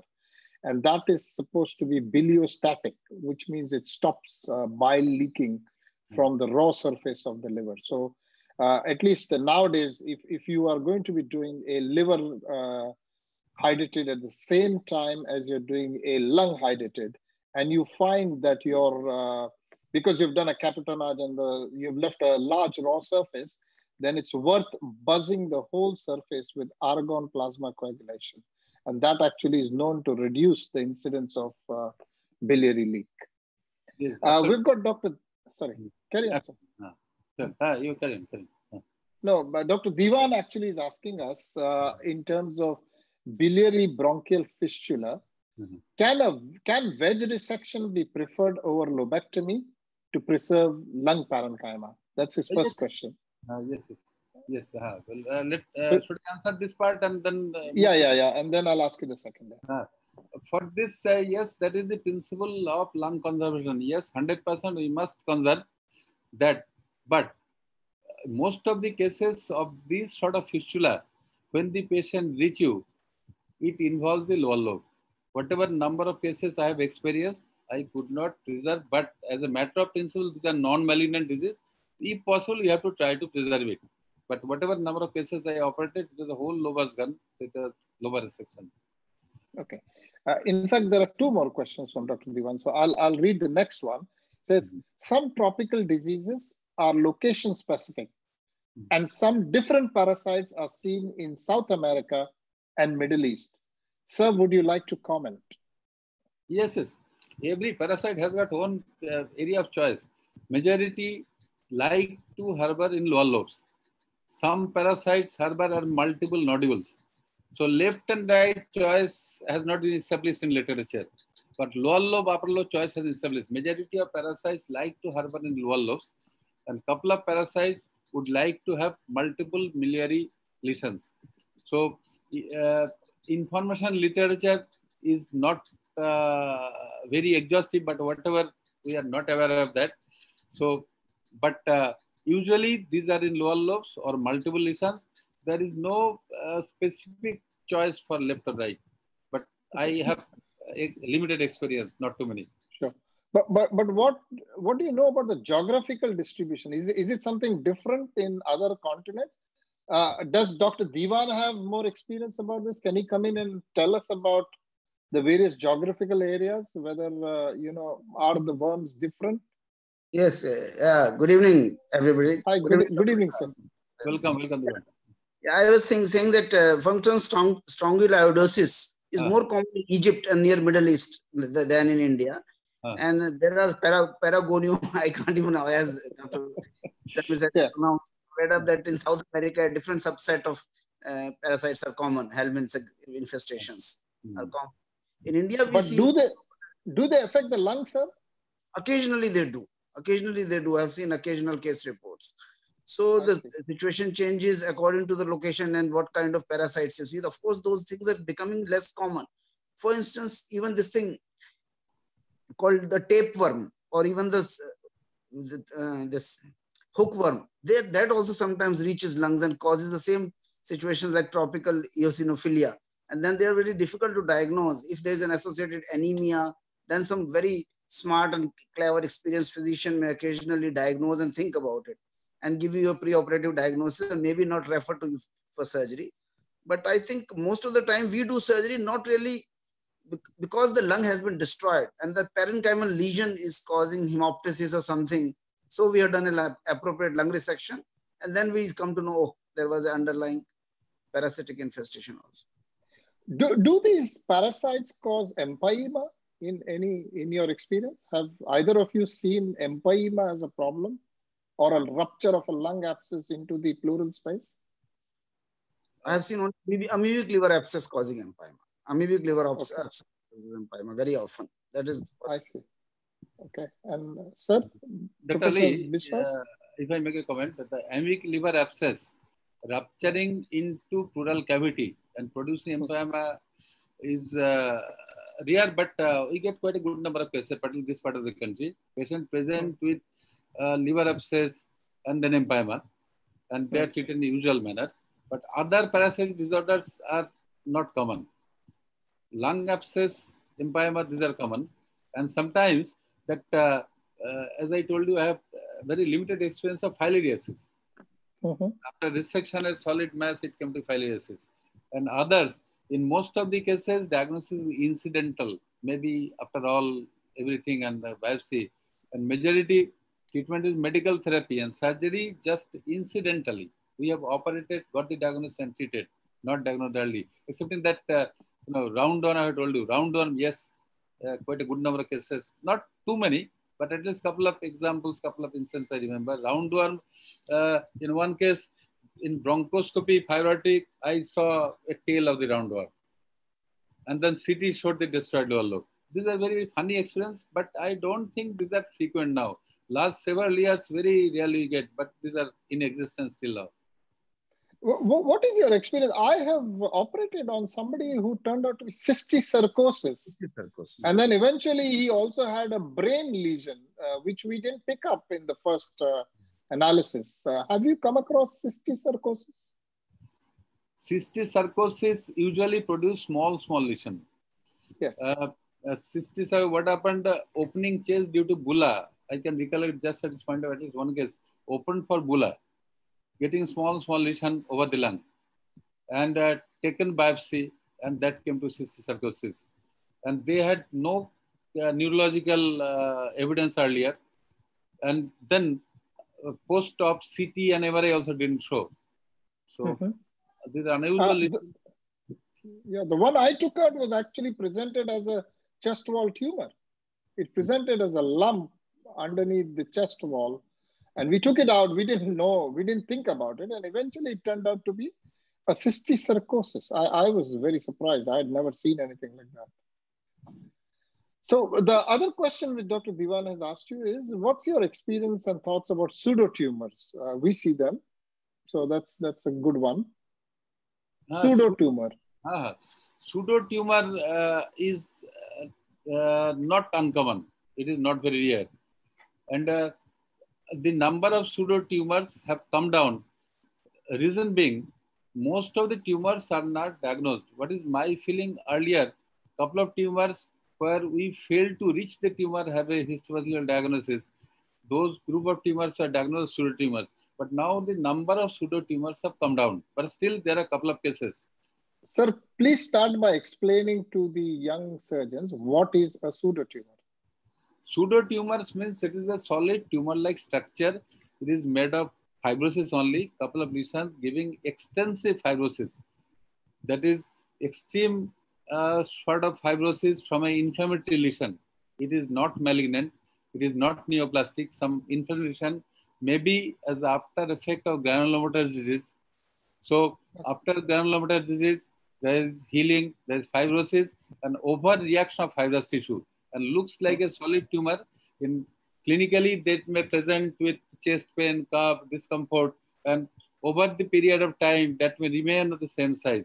These are not solitary pulmonary nodules, bigger than that, but they don't grow. And many a times, FNAC doesn't give you information; it gives inconclusive information. Uh, this is the usual nature, and when there is, it is bigger than solitary pulmonary nodule, and there is doubt, even it is not growing, it is better to take out. And today, with the camera, you can take it now. It's 90, and uh, biopsy gives you final diagnosis. Okay. Dr. Diwan wanted to say something. He raised his hand, I saw. Yes, I was saying that about this cysticercosis. In fact, uh, without naming, I have seen a medical colleague getting a brain cysticercosis as well as a chest cysticercosis. So it is a thing which is rare, but it is occasionally seen. It's unfortunately seen, but diagnosis is quite challenging.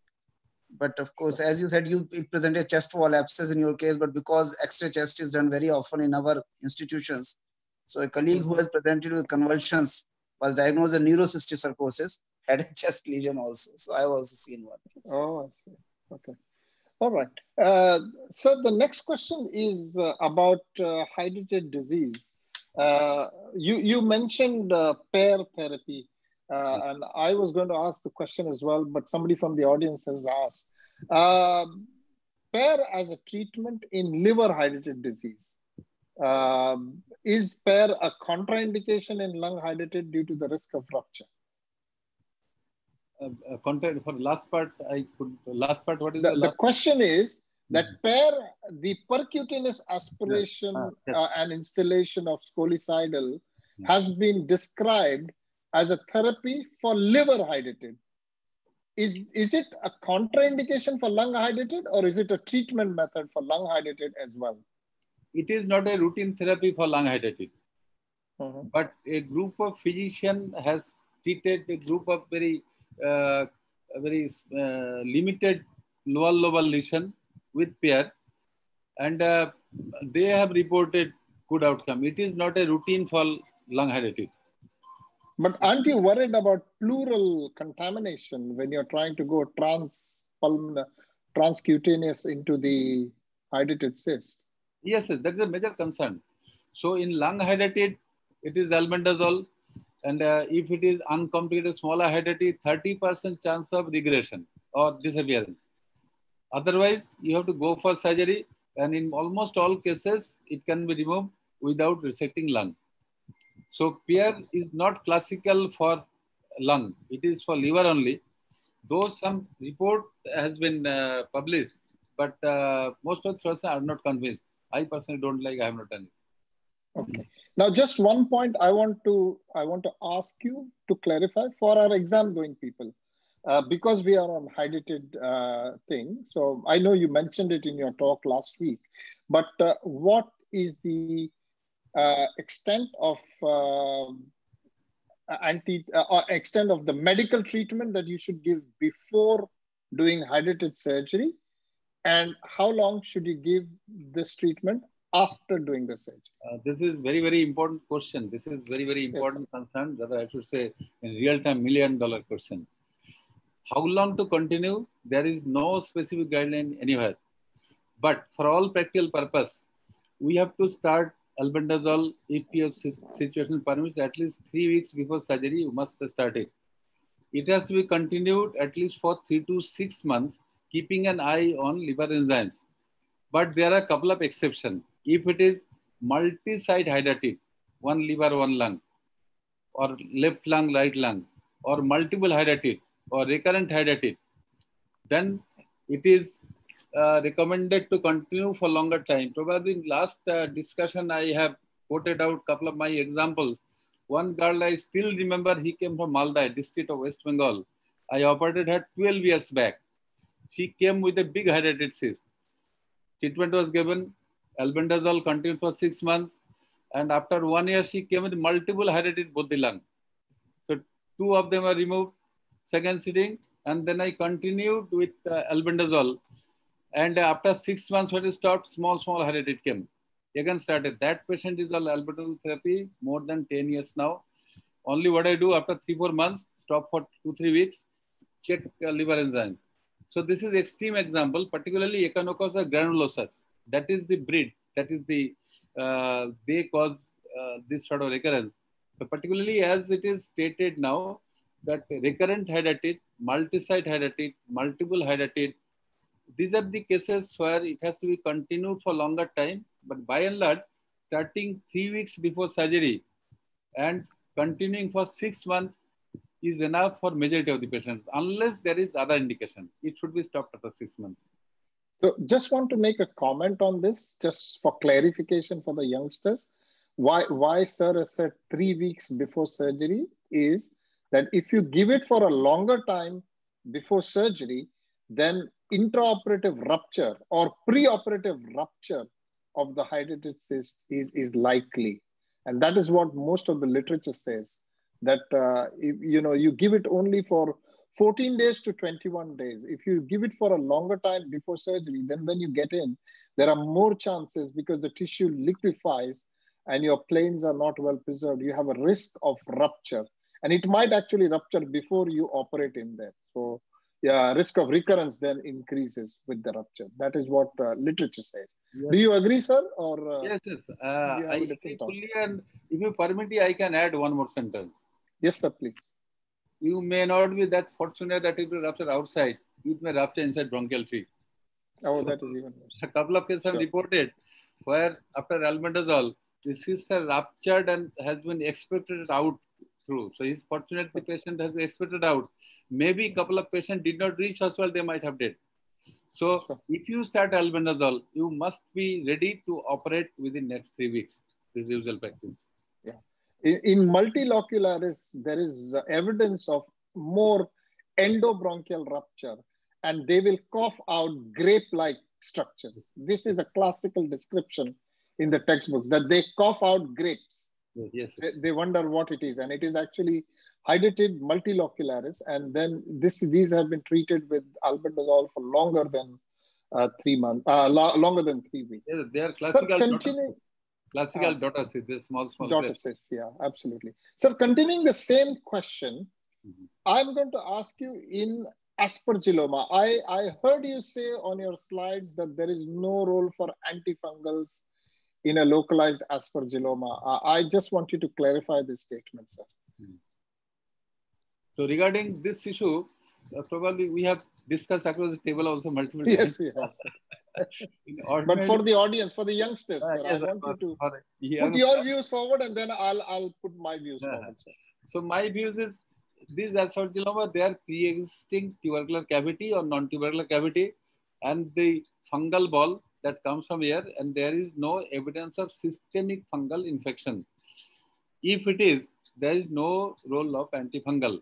But if there is evidence of any evidence, clinical evidence or anything about systemic fungal infection, there is role of antifungal. As a routine, what is in my practice, I don't give uh, antifungal, take out it. if there is any evidence of fungal infection, it is added later. As a routine, I don't add, uh, but I, I don't restrict myself that I am not going to add. If there's evidence, Okay. I don't add. So, so my take on this is a bit different. Uh, it comes from a clinical experience of a few patients who, when you go in and operate, you actually manipulate the uh, uh, aspergilloma, you manipulate the lung when you're dissecting things out. And there is a risk that you might, because these guys are known to have endobronchial communications. And so there is a risk that you might cause systemic fungal sepsis. Uh, and and so in my personal practice, what I do is I give them antifungals for about six weeks before I start the before I schedule them for surgery. Because at the time of the surgery, I want to have peak plasma level of antifungals. So what happens is you do a very good surgery, but unfortunately, four days, five days later, they start developing some haziness in the other lung which is clearly a sign that you have actually spilled the fungus over. But since we have started doing this uh, six weeks of antifungal before doing an aspergilloma, we've actually had no cases who have had uh, fungal sepsis. Could be that our technique has become better, or could be that, uh, you know, we, we don't have a scientific answer for this, but it's just a gut feeling. And so we personally start six weeks before, give anti antifungals, take out the aspergilloma and, and my pulmonologist likes to give for three months following the surgery. That is her standard practice and I'm quite happy with that. Dr. Diwan, do you have a difference of opinion? Uh, yeah, actually, I mentioned in my talk two days ago also this thing uh, came up. I think that fungus is just a colonized. Aspergilloma has three different presentations. Number one is systemic aspergillosis, which is a very serious condition which requires antifungal drugs for sure. Second is ABPA, allergic bronchopulmonary aspergillosis, which presents as asthma, which requires yeah. corticosteroids in addition to fungal drugs. But the surgical thing that we are most often encountering is an aspergilloma in a pre-existing cavity, and very often it is just a colonization. So antifungal is not necessary.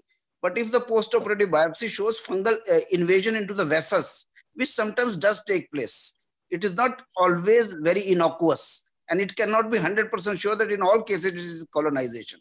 So if we find evidence of colon, uh, this invasion of vessels, then we add antifungals for four to six weeks under physician's guidance.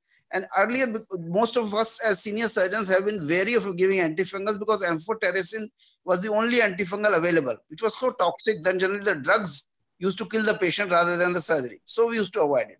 But now with other fluconazole and other drugs being available, probably your uh, concept is also perfectly valid, though we cannot have a scientific reason. Yeah, we don't have a scientific basis for that. It's just Ali, a gut feeling. Ali, Yes, sir. I, I would like to add one more sentence. Yes, sir. So this issue is a, a very, very burning topic. We have thought, uh, and uh, what you have discussed already, that uh, there are connections and that invade the surrounding tissue. And uh, Mhm. this issue has been discussed and this issue has been studied and published also. Mhm. And uh, uh, in one study, it came and it was discussed that this percolation doesn't cross the boundary of lobe. So in the fungal ball aspergilloma, the recommended surgery is not limited. It is always, always lobectomy. It was uh, in that particular study, it was proved if you these connections doesn't cross the beyond bound uh, boundary of a lobe. So in aspergilloma, limited resection is not recommended because if you do segmentectomy, uh, it may invade next segment. But of course, what you suggest that may be studied that limited resection with antifungal. That may be solution. Okay. So these are open, and I think youngsters will find answer for these issues. Sure, sure. Now, the next question has come from the audience, sir. Any role for surgery in removal of a pseudopancreatic cyst extending from retroperitoneum to mediastinum? Uh, I, I don't know, sir. If something, Uh, I- I- I. I don't even know what is a pseudopancreatic cyst. we don't have to remove this. All right, sir, we, we let that one be, sir. Okay, so the next question is in surgical treatment for pulmonary hydatid, a capitonage for a medium-sized cyst, after closure of the bronchial openings and capitonage, The remaining lung appears crumpled and produces atelectatic shadows on radiographs. Hmm. Do they resolve on their own? Most of the lung after capitonage, if the bronchus is closed, it comes up. Particularly in pediatric population, it comes 100%. I have very, very rare experience of going for resection. In hydatid, lung is always, always conservable. This is what I Okay. All right. So, so the lung expands, and uh, somebody had asked last time whether is there a distortion of the geometry of the lung. The answer is no, because the lung is very, very. It's it's a friend, really a good friend, who's very forgiving, and Ah, yes, always, yes. no matter what you do to the lung, it actually recovers beautifully. In And that's why thoracic surgery is so nice. in hydatid lung comes up lung Yes, does it uh, even uh, those uh, lung which looks like just a leather if you close the bronchus and on table you get some evidence that is expanding it is not totally solid it comes up Okay. Sir, the comment has come back regarding the uh, excessive bile leak that you're getting after uh, liver resection.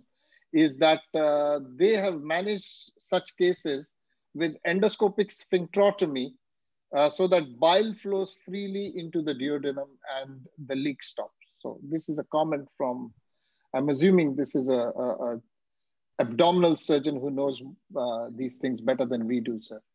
Uh, okay. Um, the next question is Is there any cutoff based on the percentage of the volume of the lung tissue occupied by the hydatid to make a decision for upfront lung resection? no no no No. So you, No. you just, the, the aim is to take the cyst out. That's it. it ah, that's matter. cyst out and close the bronchus that's and, and save lung. ah, save lung yes it will come up Should patients with hydatid cyst uh, on admission during pre-op, should patients of hydatid cyst be admitted uh, during pre-operative albendazole therapy given the risk of intrabronchial rupture? already discussed this issue uh, there is chance of rupture but uh, three weeks is reasonable Yeah, but you don't admit them to the hospital, do you? You don't do that. No, no, no, no, not, that's no not routine in- practice. there's no point in admitting so early Yeah, there's no point. patient yeah. comes ready So-. Yeah. So is there any role for amphotericin instillation for aspergilloma? uh, that issue, uh, local aspiration, uh, you, you have experience, you can say, I don't have experience. Probably local in, uh, institution doesn't have any role. I, I don't have any personal experience. You can make comment on this. I see. Okay, uh, couple of questions while we have you with us. This is outside the topic, sir. This is this. These are questions which have been asked on the forum, and and because you are with us, and if it's okay and you've got some time, Yes, I sir. want you to comment on this, sir. This this is quite important. This couple of these questions have come from young surgeons who have just started their practices. So they, they are asking how do they start a VATS program uh, from scratch uh, in, in their center. So I would like to ask your opinion on this, sir. And I would like Dr. Diwan also to give some uh, words of wisdom because he started his, his program from scratch. So can you help these youngsters? What are the philosophies for starting a VATS program? Again, Yes, it's not related to this topic, but Yes, very important for the But- audience. it is not related, but it is highly related because Yes, now sir. Minimal invasive hair is expert. I have got a uh, my uh, planning in this, which I practiced in my medical college. That my policy, because now the people who are coming for thoracic surgery, they have got reasonable experience of handling laparoscope. They are uh, having some experience of handling camera, so they can do it. So it has to be taken in the same line in the training of thoracic surgery, training of uh, usual thoracic surgery. My initial training in my department was that there is a uh, very frequent need to put chest drain in many cases, maybe pleural effusion, maybe pneumothorax. In a medical college where cost doesn't bother you. So I Mhm. made a plan for all patients to put a camera while putting chest drain. Just put a camera. In the department is free. Large number of patients are coming. Put a camera seat. And particularly in trauma patient, all trauma patient having little bit blood, hemothorax, pneumothorax, putting a camera was a routine. And uh, last day I discussed, I got a couple of cases bleeding from the intercostal vessel. Just putting a clip solved the problem. So my policy was to put the camera in all the chest wherever you can put. Maybe pleural effusion, maybe uh, pneumothorax, or maybe chest trauma. Next issue is all the uh, uh, young surgeons who have reasonable experience of laparoscopy. That uh, that is an important issue they must remember. So some experience of laparoscopy, basic training in thoracic surgery, basic anatomy, physiology, couple of thoracic cases, and putting laparoscope uh, in all the chest and starting with minimal or small procedure, uh, just like uh, pleural biopsy, not lung biopsy initially. So just pleural biopsy, uh, uh, then looking inside the chest very carefully. So uh, undiagnosed pleural effusion, that is commonest case.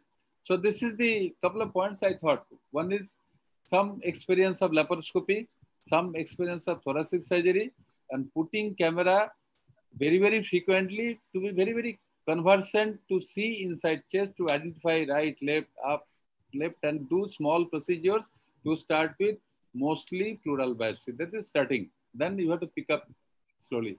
This is my feeling. Okay, Dr. Diwan, what was your experience when you started your VATS program I in the think, government setup? Yeah, yeah, good, great question. I suppose it should, uh, first of all, I should make the comment that Dr. Zamir yourself have made us realize that VATS is possible in inflammatory lung disease. It's not a contraindication. And but one has to be more ingenious. And as Dr. Vishwas has said, that you can start with procedures where you feel that you can enter the chest easily and then then start putting them routinely in all the cases, even though you may be ready to convert easily in beginning. And it is easier in multidisciplinary institutions where laparoscope is already available. So you don't have to invest separately on VATS, uh, uh, camera, etc. You put laparoscope in all your thoracic cases and then see if you can progress. And most important, have a younger person in your team who can do VATS much more easily than us. Okay. Uh, I, I just want to add my two piece on this is that uh, for a VATS program, uh, we, we there is an organized training program. It's called as a four stage, uh, I forget the name now. The, it's, it's a four stage program where you have to come in and uh, you have to first attend a wet lab. Uh, the wet lab is for basic VATS. In the basic VATS, we actually teach you about instrumentation, uh, we teach you about uh, uh, hand-eye coordination, and then we teach you about five simple thoracic operations. Uh, so it's called as a Preceptor course. That's right. It's a Preceptor course, which Ethicon and Covidien both are doing actually. So the first step is you come into the wet, basic VATS wet lab. The second step is you come into the theater of the of the of the leader of the Preceptor course, and you watch uh, at least uh, five to six operations. Uh, the third step is where the preceptor comes into your theater, stands opposite you while you set up uh, basic uh, uh, cases. And then the fourth step is advanced course. So you have to come back and do all three all over again. And where the preceptor comes back into your into your theater after you've seen him in his theater. And then, of course, the follow up is on online support with videos and uh, counseling. And this uh, has been supported by Ethicon and has also been supported by Covidien as, as a protocolized program. But I really feel that the ISTS should now take over this responsibility uh, because we are now live. Uh, so ISTS should take over this responsibility of doing the Preceptor course for training youngsters for VATS it's only a suggestion, sir, but uh, I think it's this should be the main mandate of, of our society now. What do you think? This is a very right suggestion. Totally, I fully agree with you. So in today's scenario, it's initial training and this simulation, these are uh, very valid and definitely society should take it forward. And uh, you are part of all our teaching programs you being the youngest and most dynamic person, so you are always. so, oh, yeah, Thank So you, sir. Not only that you have suggested, but you have been doing this. So it has to be sir. We, regularly. It has to be done. we, we'll get on to the next question, sir. Uh, what is your, somebody has asked me that they have been asked by surgical gastroenterology, uh, gastroenterology to insert an ICD into a pseudopancreatic cyst. Uh, wh- what does that mean, sir? ICD in the pseudopancreatic cyst. Yeah. They can, I don't know, they can under lepers, under USG guide, they can put a tube. What is our role? I'm really, Okay. And uh, the other thing is, I, I want to clarify. Somebody has written to me saying, describing what a pseudopancreatic cyst is. So thank you, but uh, I promise you, I know what is a pseudopancreatic cyst. I was only joking when I said I don't know it. It's just that we don't deal with it often enough. So we are not experts to give you advice on what is the management of a pseudopancreatic cyst. Uh, so that's that. Uh, any other questions which uh, people want to ask? Uh, feel free to step in and ask. Otherwise, we'll call it a day. I think it's been a wonderful learning experience for all of us, sir. Uh, anybody's got anything burning issues you want to ask?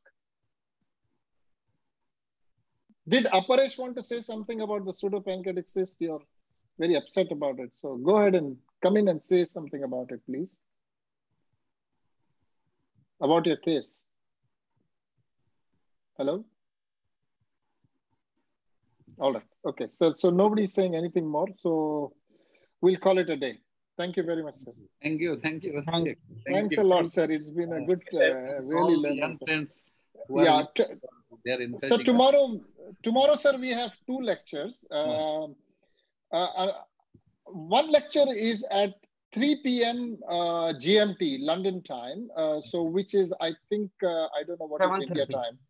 7:30, which is overlapping with a cardiac lecture. So we will continue to relay, and whoever wants to listen to it should listen. It's a very important lecture. It's on tumor immunology. So immunobiology of a tumor. And uh, Professor Akif Turna will actually give this lecture from uh, Istanbul. Uh, he's, he's got an amazing research uh, program and very knowledgeable about lung cancer.